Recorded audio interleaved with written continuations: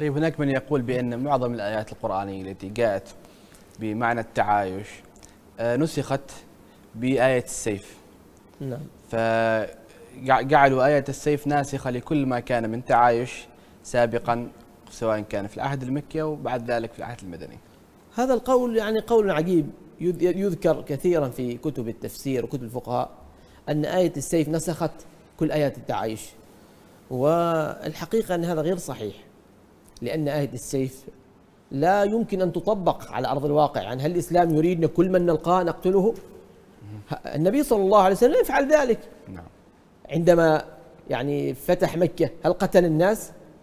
آه، الصحابة عندما دخلوا مصر ألم يجدوا الأقباط؟ ألم يعيش الأقباط في ظل الدولة الإسلامية؟ المجوس في فارس ألم يعيشوا مع المسلمين؟ ف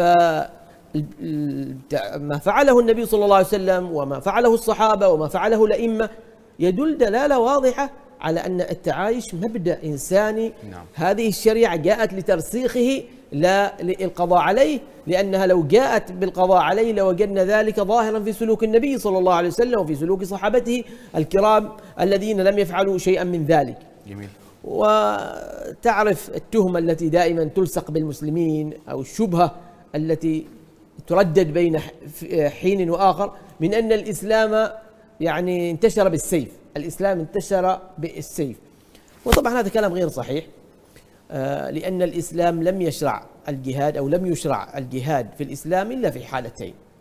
الحالة الأولى لرد العدوان وقاتلوا في سبيل الله الذين يقاتلونكم ولا تعتدوا. و جهاد الدفع هذا. نعم أو آه، جهاد الدفع.